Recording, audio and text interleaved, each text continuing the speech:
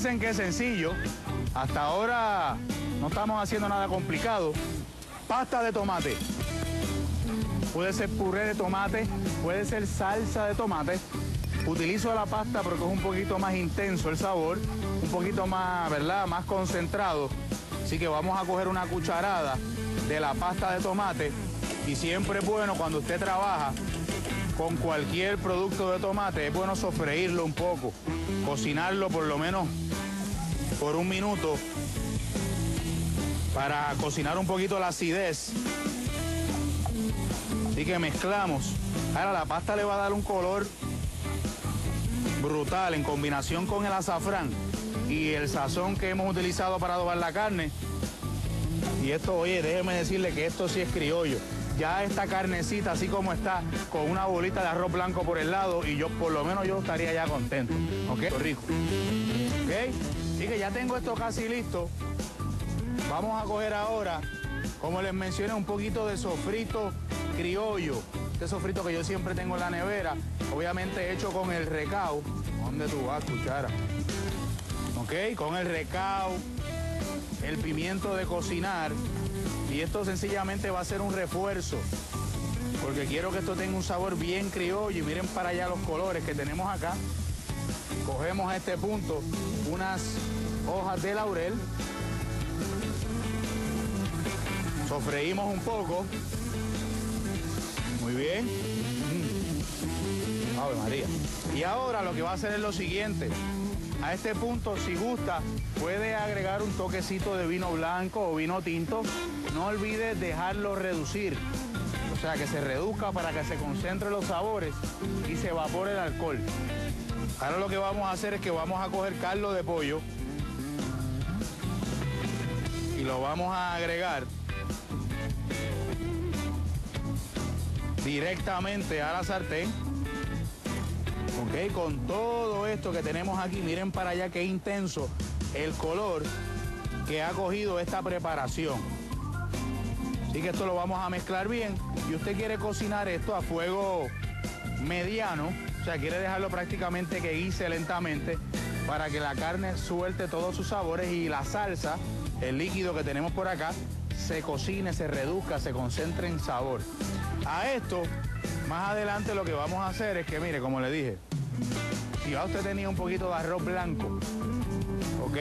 Un poquito de arroz blanco que le había sobrado de la noche anterior o a lo mejor lo preparó al momento, sea blanco o sea guisado, esto más adelante, una vez este guiso que tengo aquí se, reduzca, la salsa eh, se espese un poco, vamos a comenzar a agregar arroz blanco y sencillamente lo vamos a mezclar, que es lo que sería más o menos. Por eso le llamé a lo mamposteado, ¿ok?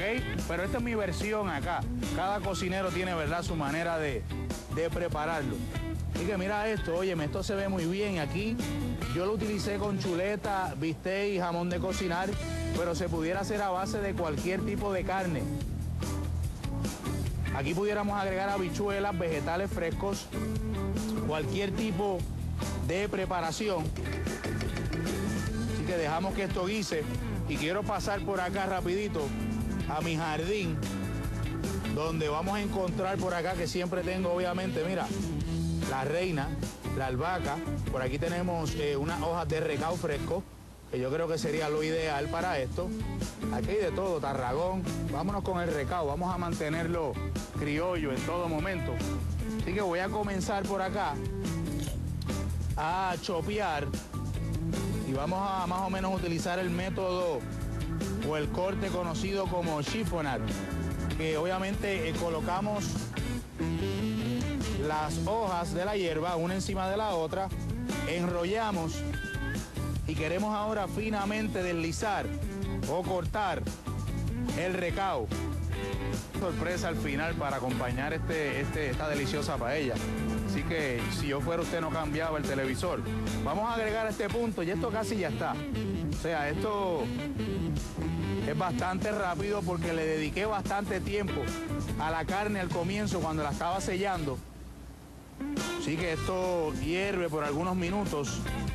Mm, mira para allá esto, oye, esto sin duda alguna huele muy bien. Esto también sobre un majadito de viandas locales. iría espectacular. Ahora a este punto, lo que usted quiere hacer es coger el arroz cocido y lo va a agregar directamente a esta preparación y vamos a dejar que esto siga cocinándose. O sea, queremos reducción en la salsa. Ahora, si a usted le gusta que su mamposteado esté un poquito mojadito, pues mire para allá la consistencia que tiene este. Yo en mi caso lo voy a dejar que, fíjense que todavía tengo un poquito de líquido ahí de más.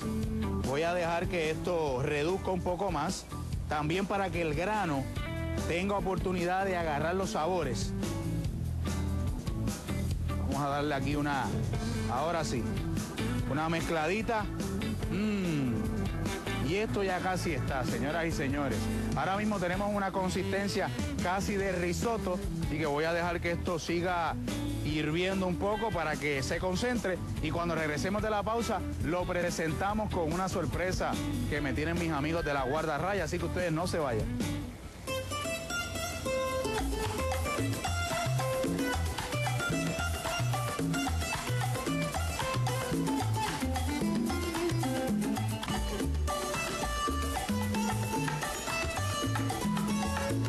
Ay, ay, ay, señoras y señores.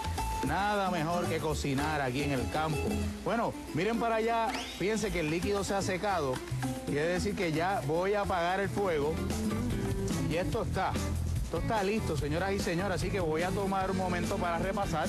Recuerden, cortamos las carnes, las sazonamos en una sartén con un poco de aceite de oliva, las va a caramelizar, luego agrega cebolla, pimientos, ajo, un poquito de azafrán, laurel, pasta de tomate y sofrito, caldo de pollo, deja que esto hierva suavemente y una vez esté concentrado su guiso, va a comenzar a agregar arroz blanco cocido o guisado también. No olvide de terminarlo con un poquito de recao fresco del país. Muy bien. Así que esto, óyeme, esto, mira lo que vamos a hacer con esto ahora, mira. Por aquí tengo mi plato. Así que en el mismo centro vamos a colocar un poco de cuidado con la hoja de laurel. Esa usted no la quiere servir en el plato. Una vez ya termine con su preparación, la puede eliminar. Así que tenemos ahí una cama de esta deliciosa paella. Esto lo podemos decorar a lo mejor con unos guisantes verdes, un poquito de pimiento morrón y ya está.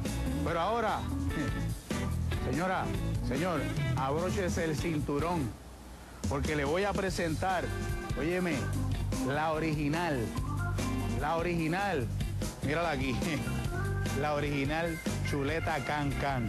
Señoras y señores, mire esto, mire, es que tengo que agarrarla con las dos manos porque pesa mucho, ¿ok? Pesa mucho, mira eso. Óyeme, esto gracias a mis amigos de la guardarraya que están aquí, mira, entre Guayanilla y Yauco, los pioneros en la chuleta can can, uno de los mesones gastronómicos. Y esto, mira, mira lo que vamos a hacer con esto, mira. Esta deliciosa paella criolla, mira, la vamos a decorar con esta chuleta can can. Voy a buscar por acá un poquito más de recao. Que esto sencillamente se lo voy a colocar por encima. Óyeme, no me diga usted que esto no sería un almuerzo exitoso. ¿Ah? Una paellita criolla y por encimita la original chuleta canca. Aquí lo tenemos, señoras y señores, como siempre, es un placer. No se olvide que esta receta la va a encontrar en la revista Bea y en telemundopr.com. No se pierda que seguimos con más de la ruta del pavo al lechón. Así que nos vemos mañana. Buen provecho y salud.